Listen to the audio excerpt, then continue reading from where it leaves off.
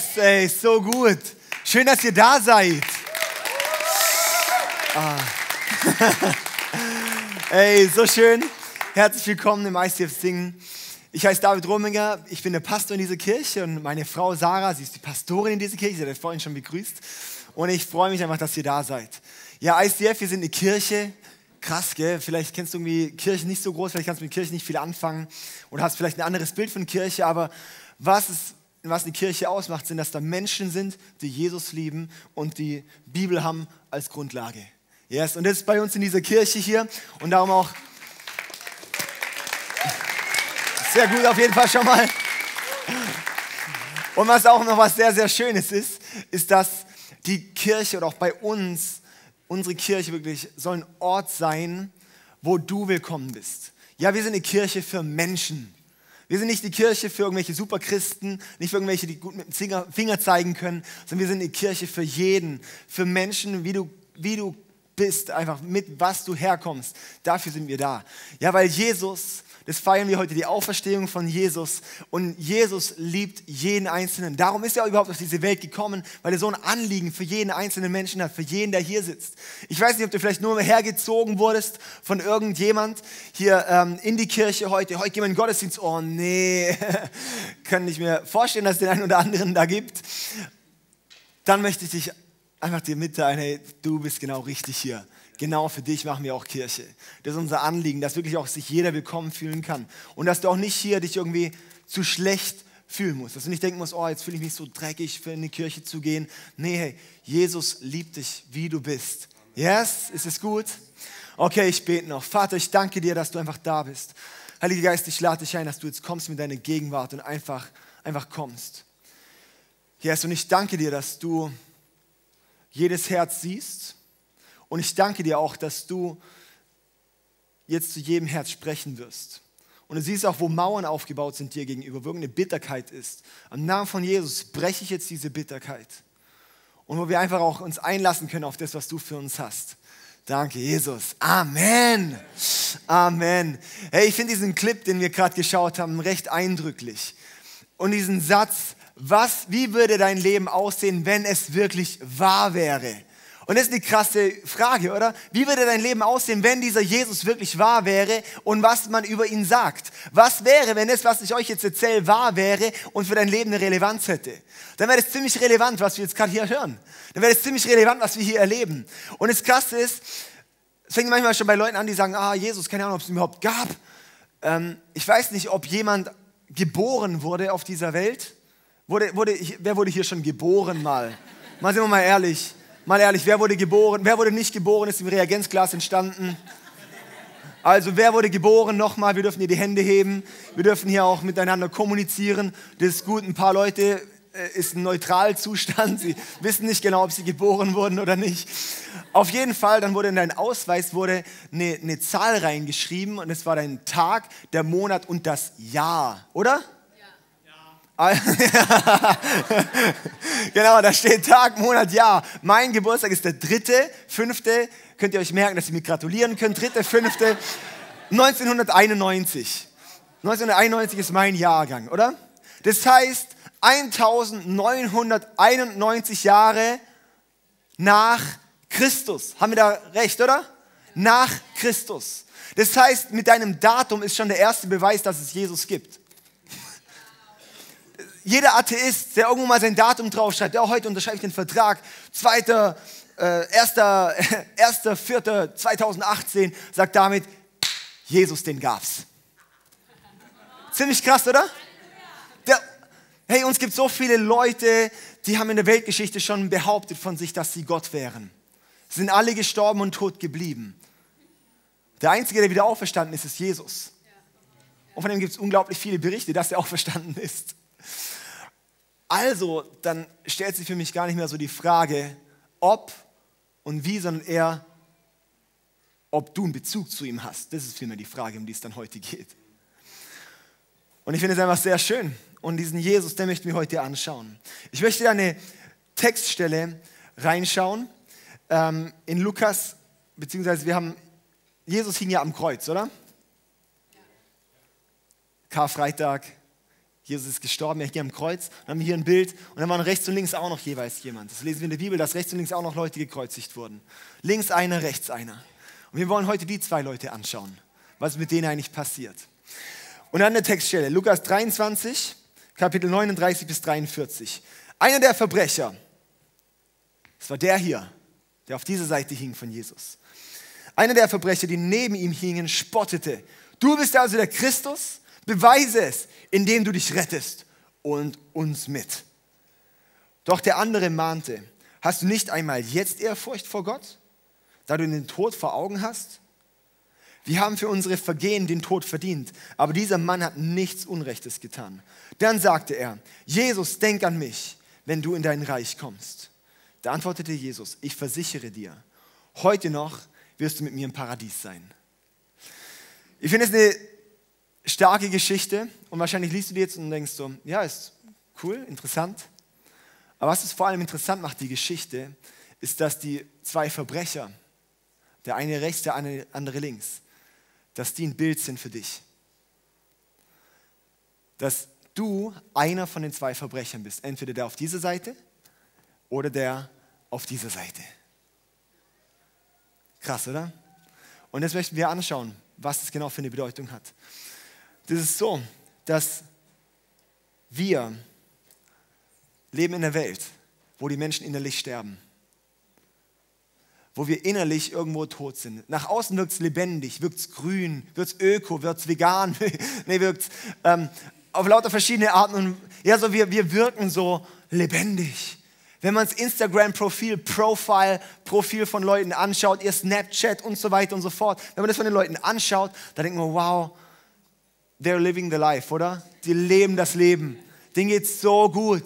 Immer positiv. Wir schreiben immer wieder Leute und sagen, boah David, hey, eure Kirche, Mann, bei euch geht es ja so ab, hey, was man da sieht im Social Media, das ist so krass. Und ich sage, ja, man postet ja auch noch die guten Sachen, oder?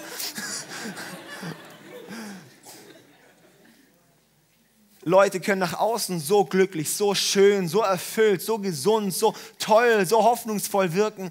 Aber wenn ich mit so vielen Leuten, eigentlich mit jedem, der nicht rede, der nicht diesen Jesus kennt, und ich ihn frage, was geht bei dir in deinem Herzen vor, in deiner Seele vor, wenn du nachts im Bett liegst? Was passiert da? Und er so, ja, das ist irgendwie trotzdem so eine Leere. Ich habe zwar alles, ich habe alles Geld, ich habe Sex ohne Ende, ich habe und so weiter und so fort. Ich kann machen, was ich will, aber irgendwie innerlich, irgendwie erfüllt es nicht. Irgendwas ist da. Und das ist der Zustand, den können wir gar nicht so identifizieren, aber das ist eigentlich ein toter Zustand unserem, von unserem Geist.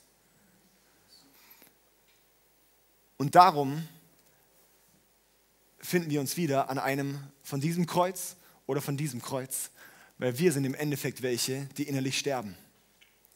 Die, die am Kreuz hängen, die sterben auch gleich. Und in unserem Herz, da ist auch was, das stirbt. Und es kann nur durch Jesus Leben bekommen. Und das Krasse ist, das nennt die Bibel Sünde. Dieses Getrenntsein von Gott. Diesen Zustand, wo wir nicht zusammen mit Gott leben können, wo wir nicht in der Beziehung mit Gott leben. Es kann sein, dass du viel Gutes tust, dass du sagst, ich tue doch das und das und das ist doch alles gut. Und du wägst so ab und sagst, ich tue doch viel mehr Besseres als, als Schlechteres und dadurch müsste ich dann bestimmt so mal irgendwie in den Himmel kommen und mit Gott so leben und so. Sage ich, nee, so funktioniert es nicht. Es funktioniert nur, wenn du gar nichts mehr hast von dem Schlechten und nur komplett gut bist. Aber das können wir Menschen ja nicht. Und es geht nur durch Gott, durch einen Zustandswechsel. Ja, das ist sozusagen da, wo wir frei werden müssen. Wir müssen sozusagen frei werden von, diesem, von, dieser, von dieser Natur, oder? Und wir schauen in diese zwei Kreuze, die wir dort haben. Und es sind eigentlich auch die zwei Möglichkeiten, wie wir mit der Situation umgehen können. Das erste auf dieser Seite nenne ich das Kreuz der Rebellion.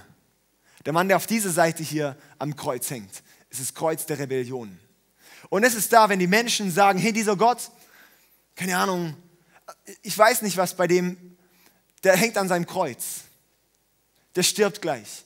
Ich weiß nicht, was für Verletzungen er in seinem Leben erlebt hat, das ihn dazu bringt, jetzt gerade noch sowas rauszuhauen in seinen letzten Atemzügen. Sagen, Mr. Christus, steig doch runter, nimm uns auch noch mit. Loser. Das sagt er damit. Ich frage, was ist bei ihm ausgelöst worden da drin? Und ich frage mich, wenn du heute hier bist und vielleicht mitgeschleift wurdest in die Kirche oder sehr skeptisch bist, frage ich mich, was, oder auch sogar negativ, vielleicht auch wie so eine Rebellion gegen Gott hast, so innerlich, möchte ich fragen, was hat das bei dir ausgelöst? Was war das, was es ausgelöst hat, diese Verbitterung, diese Sache, so eine Unvergebenheit? So. Vielleicht kann es sein, dass es ein Todesfall war, wo du sagst, hey, Todesfall, Freund, Ehepartner, Kind, was auch immer, ist gestorben. Gott, dich kann es doch gar nicht geben, wenn sowas passiert. Gott, wie soll es dich überhaupt geben, wenn so viel Leid auf dieser Welt gibt? Gott, wie soll es überhaupt geben, wenn, wie soll es dich überhaupt geben, wenn, wenn, wenn dies und jenes da alles passiert? Das führt uns häufig dazu, eine Schlussfolgerung zu ziehen, das auf Gott zu schieben. Das ist aber die falsche Schlussfolgerung. Die Sache ist vielmehr, wie gehen wir auch mit diesen Dingen um? Aber das ist nicht Gottes, das ist nicht, nicht, nicht Gottes Problem, das ist nicht Gottes Ursache, das ist nicht Gottes Schuld. Ich frage mich, was hat die Verbitterung in dich hineingelegt? Und das, diese Verbitterung, darum hängt Jesus am Kreuz, weil er sagt, ich möchte dich davon befreien. Weil ich möchte dich in eine Freiheit führen. Ich möchte mit dir leben. Ich möchte dir erklären. Ich möchte mit dir leben. Die Beziehung liegt Jesus am Herzen. Rebellion ist, ich bin mein eigener Gott. Ich bin mein eigener Gott. Ich bin mein eigener Chef. Gott, dich brauche ich nicht. Gott ist was für die, die kein Rückgrat haben, die mit Krücken laufen, die können Gott brauchen. Aber ich, ich bin so wohlauf. Mir geht es so gut. Ich habe meine Kohle im Trocknen. Ich habe Kind, Haus, Familie. Alles super. So gut. Ich tue viel Gutes. Ich spende sogar jedes Jahr an World Vision. Ja, so. Ist eine gute Sache. Alles schön. Aber wenn du dein eigener Gott bist, dann gehst du am Ende verloren.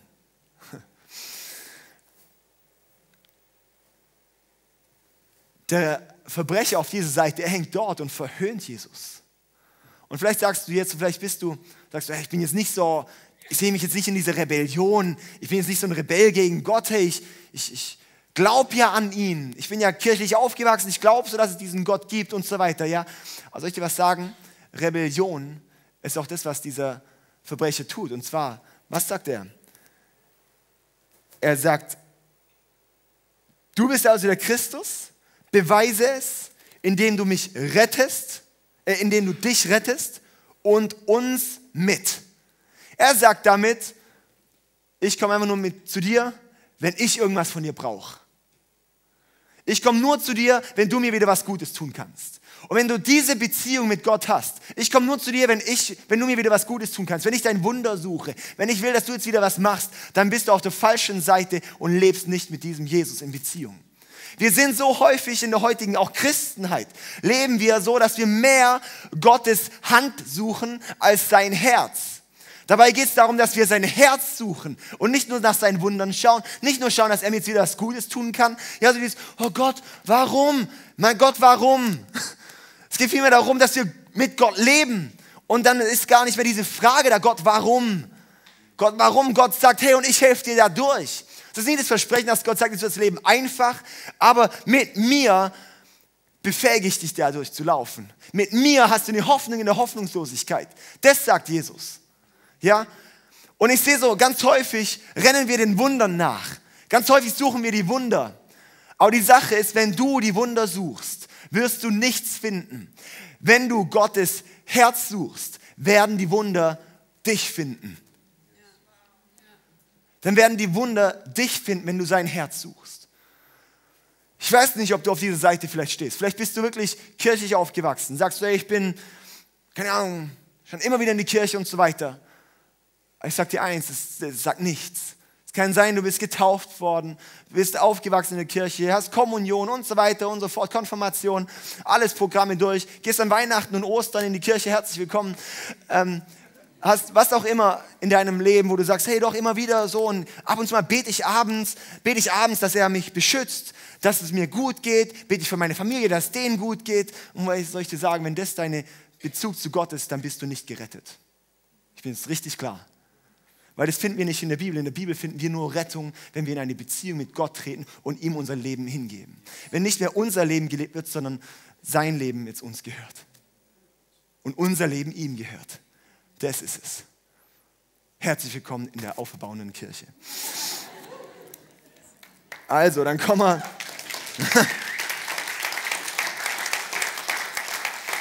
kommen wir zur anderen Seite. Dort hängt, dort hängt der zweite Verbrecher. Und ich nenne dieses Kreuz das Kreuz der Reue. Das Kreuz der Reue. Wer es gemerkt hat, Rebellion und Reue sind zwei R's. Das ist ziemlich schwer, manchmal solche Punkte sich rauszufinden, dass es sich sogar so eine Alliteration hat. Ja, das, genau. Also, was ich spannend finde, ja, okay. Also, was, was ich spannend finde, auf dieser Seite, er hängt am Kreuz, ist zu Tode verurteilt, wahrscheinlich wegen einem Mord, Schwerverbrecher und stirbt gleich und lästert ab über Gott. Auf diese Seite hängt am Kreuz, wurde zum Tode verurteilt, wahrscheinlich wegen Mord, stirbt gleich und hat plötzlich eine komplett andere Beziehung zu Gott. Die Situation von den beiden ist genau dieselbe, nur der Umgang damit ist anders. Und das ist für mich wieder ein Zeichen, es geht nicht darum, wir nehmen häufig den Umstand als eine Ausrede, uns als Opfer zu sehen. Aber der Umstand ist kein Grund, uns als Opfer zu sehen, sondern vielmehr, ich komme da raus, weil das ist auch das, wo Jesus uns reinbringen möchte, dass wir nicht mehr Opfer sind, sondern Sieger sind. Das ist was, ja. Und er hat es verstanden, er hat gesagt, hey, aus dieser Situation, da mache ich noch das Beste. Was heißt, da mache ich das Beste? Da habe ich jetzt endlich mal die erste Hoffnung, die ich in meinem ganzen Leben hatte. Zwar mit den letzten Atemzügen, aber genau das. Yes.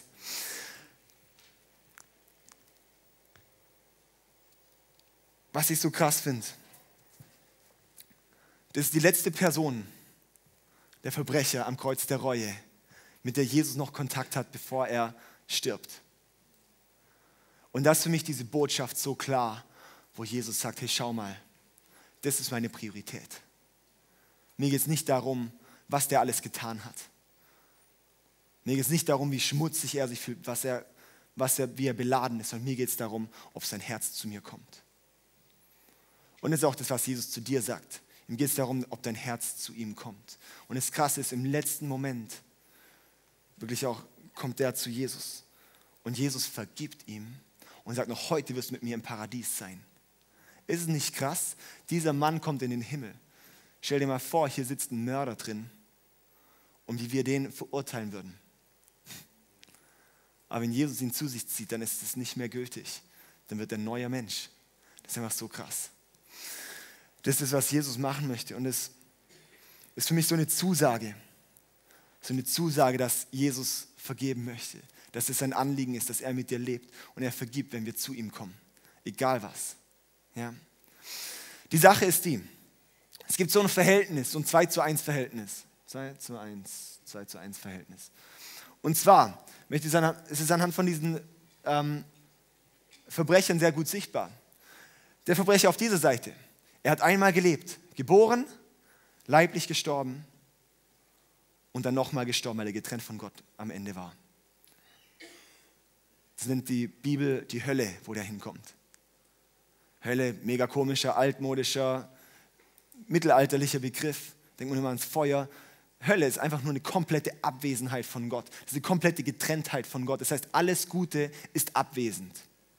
Alle Liebe ist abwesend. Das ist die Hölle. Ja, der endet dort. 2 zu 1. Einmal leben, zweimal sterben. Auf diese Seite. Er hat einmal gelebt, geboren und dann am Ende, als er sein Leben Jesus hingegeben hat, ist er wiedergeboren worden. Und was passiert dann? Am Ende stirbt er nur einmal. Sein Körper stirbt. Am Ende lebt er mit Gott weiter. Darum, du wirst heute noch mit mir im Paradies sein. Das ist das, was Jesus sagt. Und es, das, es gibt immer dieses 2 zu 1 Verhältnis. Und ich möchte dich fragen, in welchem Verhältnis lebst du? Lebst du auf diesem einmal Leben, zweimal sterben? Oder lebst du auf der Seite, wo du sagst, ich lebe, aber heute ist vielleicht auch der Tag, wo ich wiedergeboren werde, wo ich mein Leben diesem Jesus hingebe. Und dann garantiere ich dir, du wirst nur einmal sterben. Du wirst ewig mit Gott weiterleben. Und es ist krass. Und es ist so eine krasse Hoffnung, die wir dort haben.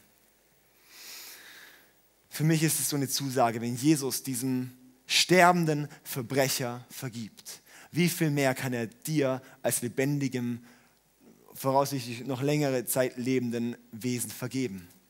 Oder? Ist es nicht krass? Wow, lass uns das in Anspruch nehmen. Lass uns das echt in Anspruch nehmen.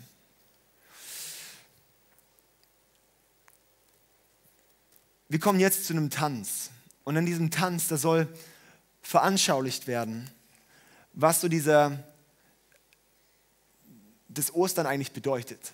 Was sozusagen mit, so dem, in diesem Zustand vom Tod und dann auferstanden zu werden und wirklich auch so, so in, eine neue, in eine neue Frische zu kommen, das, was Gott für uns hat, da reinzukommen. Das ist ein künstlerischer Tanz und einfach so sehr spannend auch die Geschichte dahinter. Und zwar die Jasmin aus dem ICF äh, Startup in Villingen. Wir sind ja eine Kirche an zwei Standorten, hier in Singen und in Villingen sind wir gerade in der Gründung.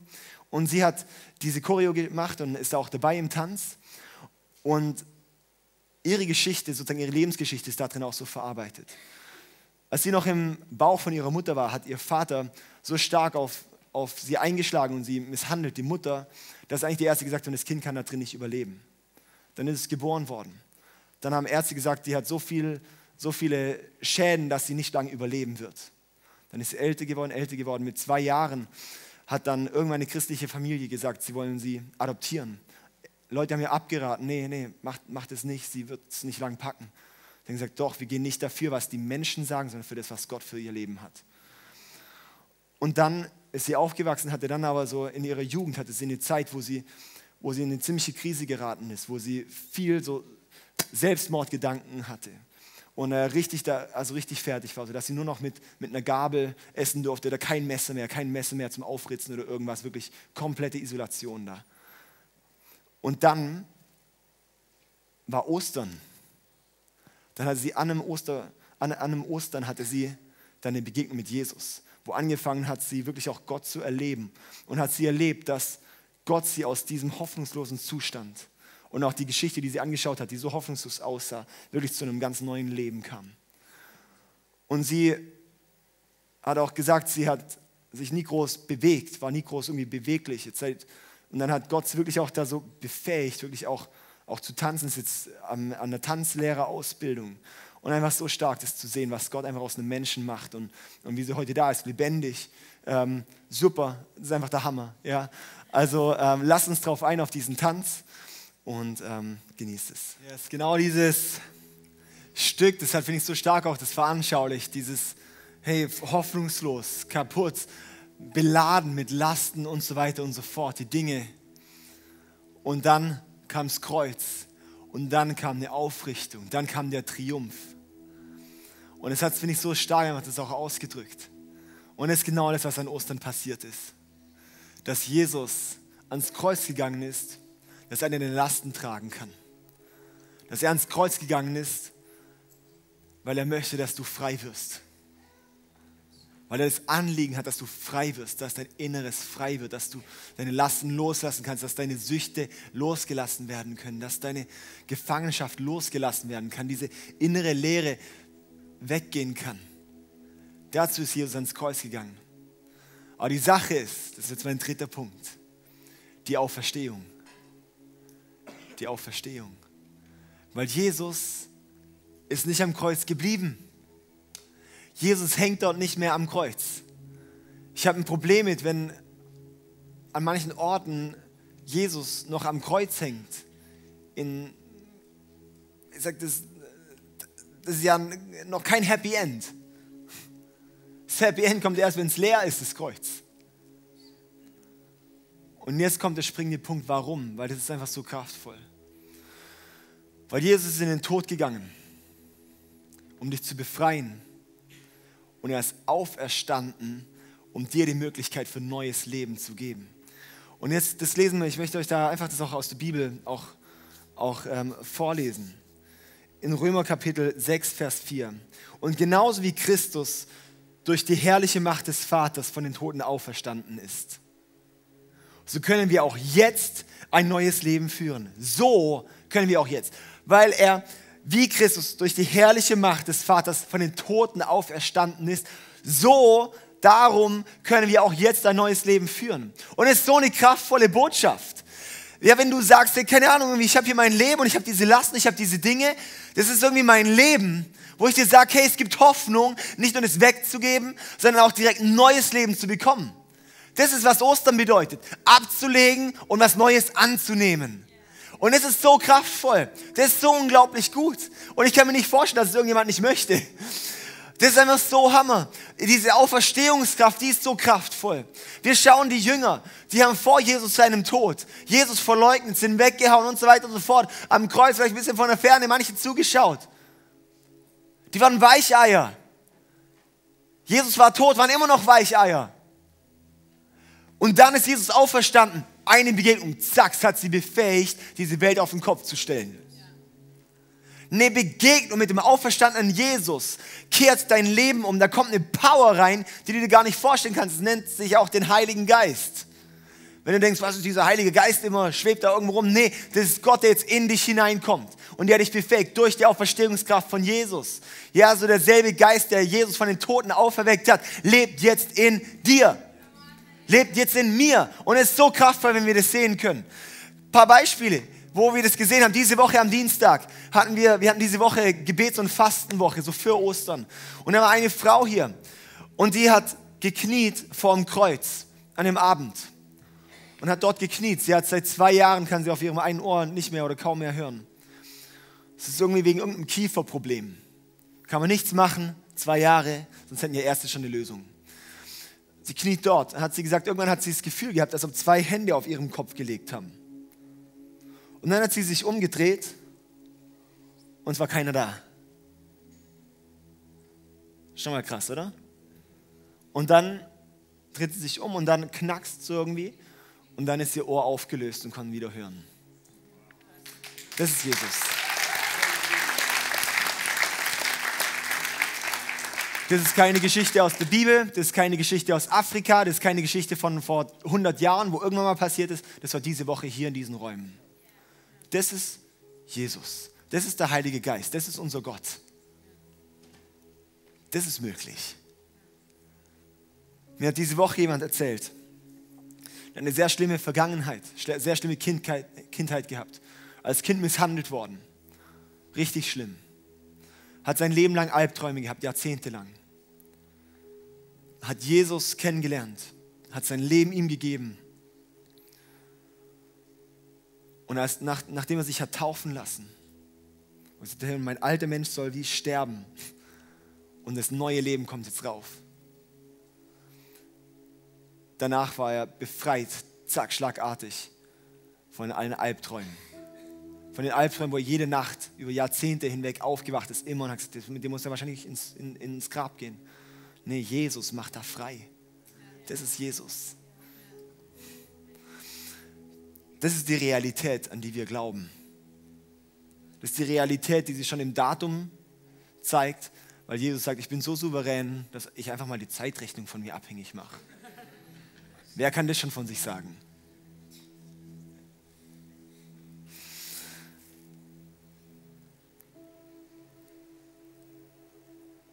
Im 2. Korintherbrief, Kapitel 5, Vers 17 steht, das bedeutet aber, wer mit Christus lebt, wird ein neuer Mensch. Er ist nicht mehr derselbe, denn sein altes Leben ist vorbei, ein neues Leben hat begonnen. Bam! Wer mit Christus lebt, ist ein neuer Mensch. Sein altes Leben ist vorbei, ein neues Leben hat begonnen. Das ist doch ziemlich cool, oder? Das ist ein neuer Mensch. Das ist nicht mehr so der alte Mensch mit den alten Dingen, mit den alten Sachen. Nein, ein neuer Mensch. Darum auch dieses zweimal Leben, zweimal geboren werden braucht's. Weil ein neuer Mensch kommt wie nur durch eine neue Geburt. Ja, also Jesus hat immer gefragt, ja, was muss ich machen, um, um, äh, um gerettet zu werden? Und er sagt, ja, du musst wiedergeboren werden. Wie soll ich jetzt wieder in den Bauch von meiner Mutter rein? Nee, das heißt, du gibst dein Leben mir. Du, gibst, du wirst wiedergeboren durch mich. Und nicht, ich werde nicht wiedergeboren als Katze oder Hund oder irgend so ein Müll, den da manche Leute glauben. Das ist nicht die Wiedergeburt gemeint, sondern Wiedergeburt heißt, ich werde ein neuer Mensch. Der Jesus in mich macht, durch das Kreuz, durch die Auferstehung. Das ist Ostern. Vielleicht hast du jetzt verstanden, was Ostern bedeutet. Und vielleicht hast du jetzt auch verstanden, warum Ostern eine ziemliche Relevanz für dein Leben hat. Weil Jesus möchte dich da befreien. Jesus möchte dich rausholen aus dem, wo du drin steckst. Jesus möchte dich rausholen aus dem, wo du in deinen Selbstsucht, in deinen eigenen Gedanken, in deiner Sünde steckst, in deiner Getrenntheit von Gott lebst. Da möchte er dich rausholen. Das ist sein tiefstes Anliegen. Darum kam er überhaupt auf diese Welt. Weil er gesagt hat, ich möchte das doch, dass jeder, jeder, jeder auf dieser Welt mich annehmen kann. Aber das Ding ist, es ist ein Geschenk, das hält er dir hin. Und das, die Sache ist einfach bei dir, nimmst du es an. Um ein Geschenk zu bekommen, musst du es annehmen und auspacken. Und es ist, was Ostern ist. Ostern bedeutet, es ist ein Geschenk. Du kannst das Kreuz annehmen, auspacken und Auferstehung erleben. Das heißt Ostern. Und das ist heute dieser Moment, dieser Ostern-Moment, dass du diese Auferstehung erlebst in dir. Das Krasse ist, du musst nicht warten auf irgendeinen komischen Moment, sondern jetzt ist der Moment. Ich finde es so krass, der, der Verbrecher auf dieser Seite am Kreuz der Reue, der hat, glaube ich, nicht sein Leben lang schon an Gott geglaubt und mit Gott so gemacht und hat, ah cool, jetzt endlich treffe ich dich, jetzt ist es soweit, jetzt ist gut. Sondern ich glaube, der hat einfach nie dran gedacht, dass plötzlich, zack, hat Begegnung mit Jesus, bam, wird gerettet, Hammer. Vielleicht bist du hier reingekommen ohne große Erwartung, aber heute ist dann der Moment, wo wie bei diesem Verbrecher, der sagt, oh wow, Gott, tatsächlich, come on, ich steige ins Boot. Ich gebe dir mein Leben. Ich nehme es an, dass du für mich in den Tod gehst. Ja, Jesus musste sterben, dass ein zweiter Tod verhindert werden kann. Dass ein zweiter Tod verhindert werden kann. So, jetzt haben wir es. Oh je, Koordination, gell?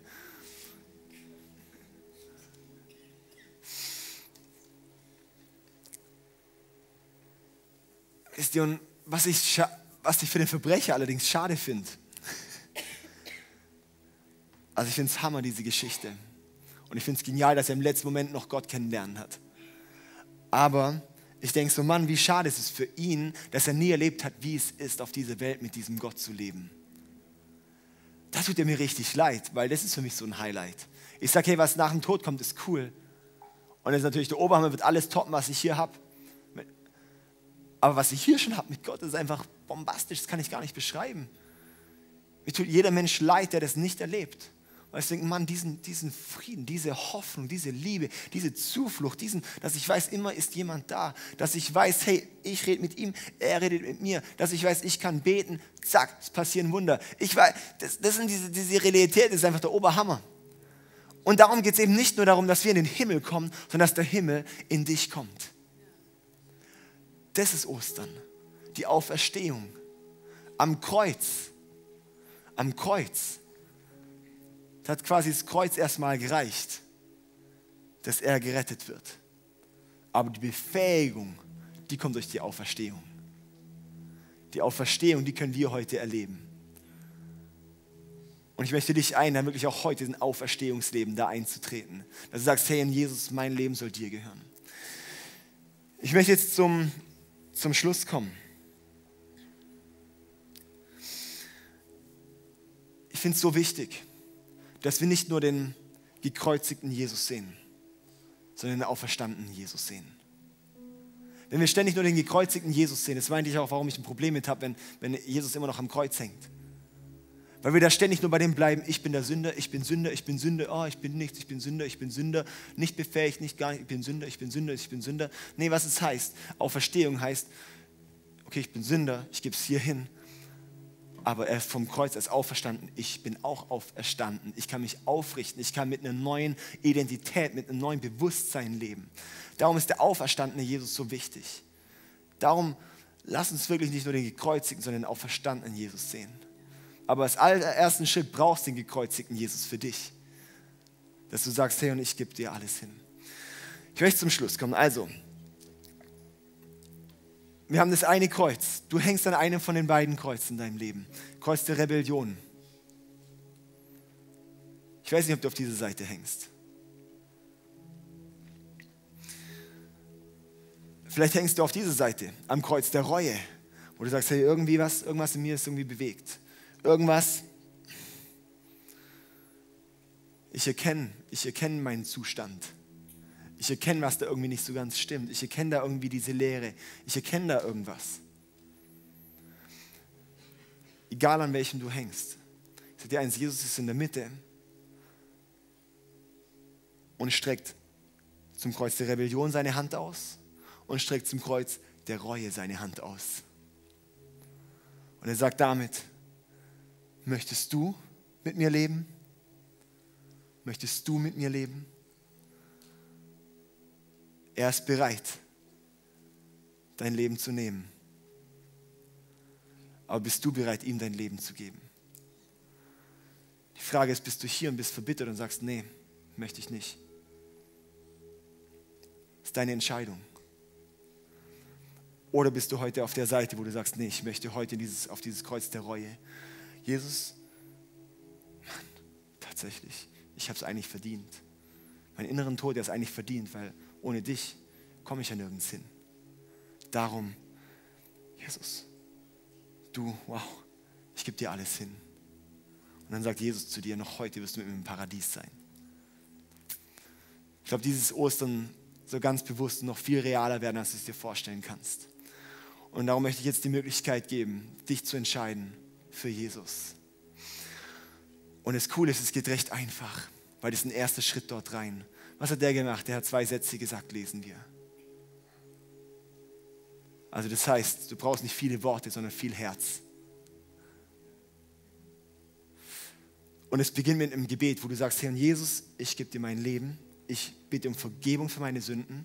Bitte um Vergebung, wo ich getrennt von dir gelaufen bin. Weil es laufen wir alle Menschen, denn laufen von Natur aus getrennt von Gott. Sagen, ich gebe es dir hin. Und jetzt nimm du mein Leben. Ich gebe dir alles. Und werde du mein Chef. Und leite du mich an. Und ich möchte diese Auferstehungskraft erleben. Das ist, was wir jetzt gleich in dem Gebet machen werden. Und ich möchte einladen, dazu können wir die Augen schließen. Wirklich auch alle die Augen schließen. Und ich möchte jetzt gleich einladen, dass du deine Hand heben kannst, wenn du sagst, ich möchte diese Entscheidung treffen. Und diese Handheben bringt dich nicht in den Himmel.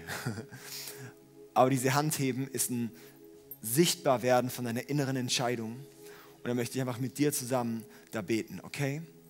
Dann möchte, ich werde es gleich bis drei zählen und dann kannst du einfach deine Hand heben und dann werde ich mit uns zusammen da beten. Ist es gut? Yes. Okay, also wenn du jetzt gerade so merkst, hey, irgendwie, Jesus klopft irgendwie in deinem Herzen an, sage ich dir, es ist Zeit, dass du dich nach ihm ausstreckst. Es ist Zeit, dass du ihm dein Leben hingibst. Also eins, Jesus liebt dich unglaublich, darum ist er auf diese Welt gekommen, darum ist er ans Kreuz gegangen für dich. Zwei, er sieht deine Situation und hat eine Freude über dich und sagt, hey, ich möchte mit dir leben. Möchtest du auch? Und drei, Jesus sagt auch, heute ist der Tag der Rettung. Heute ist der Tag. Warte keinen anderen Tag. Drei, jetzt kannst du einfach deine, deine Hand heben, wenn du sagst, heute möchte ich diese Entscheidung für Jesus treffen. Kannst du jetzt direkt deine Hand heben.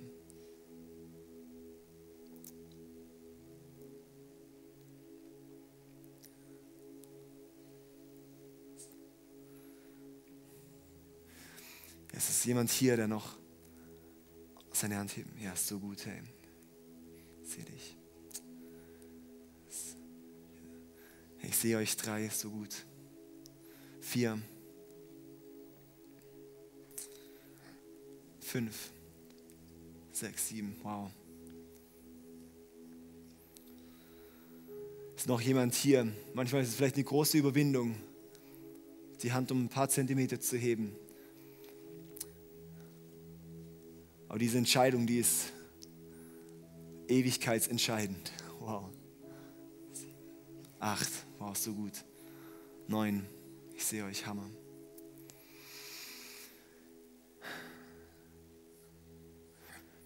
Ja, so gut, ey. Danke, ihr könnt gerne eure Hand runternehmen. Wow, lasst uns, lasst uns jetzt zusammen einfach mit den, mit den neuen. Wow.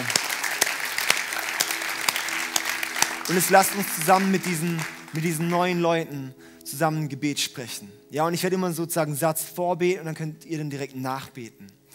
Und äh, lasst uns einfach auch als, als Kirche einfach mit unterstützen, jeder, der schon diese Entscheidung für Jesus getroffen hat. Und wenn du sagst, hey, ich habe mich nicht getraut, meine Hand zu heben, Aber ich möchte trotzdem, dann bete er mit. Es geht um dein Herz, es geht nicht um deine Hand, aber es geht um dein Herz, ja? Okay.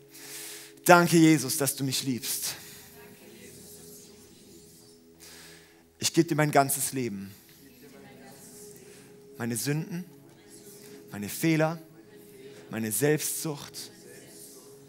Danke, dass du dafür ans Kreuz gegangen bist. Vergib mir meine Schuld. Danke, dass du auferstanden bist,